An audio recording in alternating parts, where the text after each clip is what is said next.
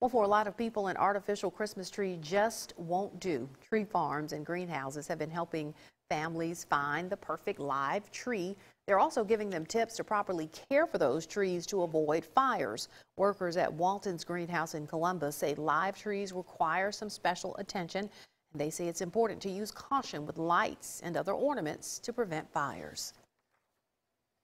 It away from a heating element, whether it be a fireplace, a heater, or a wall unit.